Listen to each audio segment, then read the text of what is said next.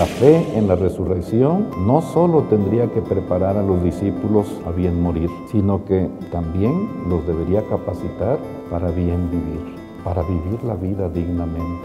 Y desde la fe, queridos hermanos, desde la fe que profesamos, quien le toma sentido a su vida, pues es evidente que tratará con respeto la vida de los demás. Si no ama su propia vida, pues difícilmente respetará la vida de los demás. Y debemos entender que nuestra realidad está muy golpeada por la violencia, por el sufrimiento, por la injusticia. Existen muchas formas de muerte. Bueno, tenemos la pandemia que evidenció lo frágil que es nuestra condición humana, pero también otro tipo de muerte, lo que el Papa llama la cultura de la muerte, que se manifiesta en los escenarios que estamos viviendo de violencia de delincuencia, de crimen organizado, de aborto, de hambre, de injusticia, de explotación, de pisotear los derechos de los demás. Sin embargo, a pesar de todos estos males, siempre encontramos ocasión para redescubrir lo que significa la vida en su sentido integral.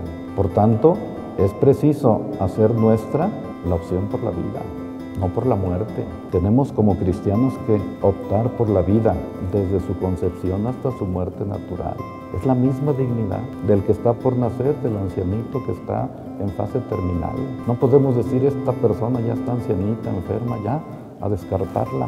No. O no podemos decir este, como ahora dicen, este producto, no, este ser humano no va de acuerdo a mis proyectos, hay que descartarlo. Esa es la cultura de la muerte, del descarte.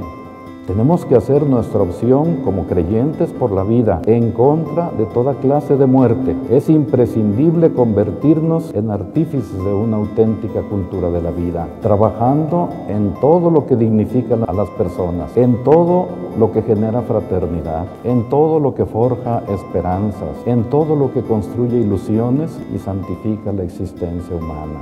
No podemos vivir una cultura de la muerte. Tenemos que ser, repito, artífices de una cultura de la vida. Y nosotros mismos amar y respetar nuestra vida. Es nuestro deseo de vivir.